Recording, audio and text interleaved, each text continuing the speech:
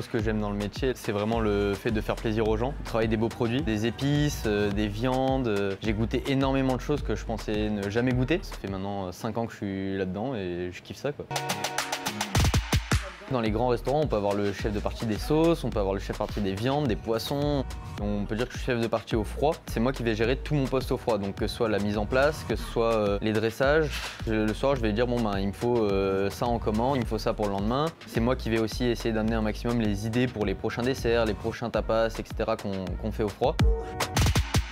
Le côté apprentissage en alternance, je trouve ça vraiment cool. Pour moi, c'était euh, un moyen de devenir indépendant et euh, parce que je me suis dit qu'on pouvait découvrir le métier directement euh, en entreprise et du coup voir plus de choses.